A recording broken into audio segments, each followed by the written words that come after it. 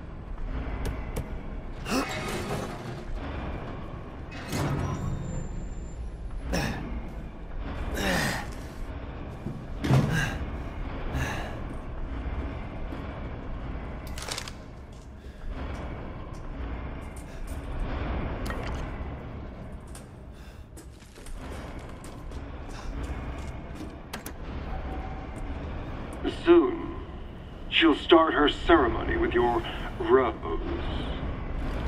If that happens, it's all over. For your kid. And for the whole village. But don't worry. I'll stop it. I'll use Rose to kill Miranda. Poor Papa. You're the only one who doesn't see your kid's power. Take Rose? I'd like to see you try.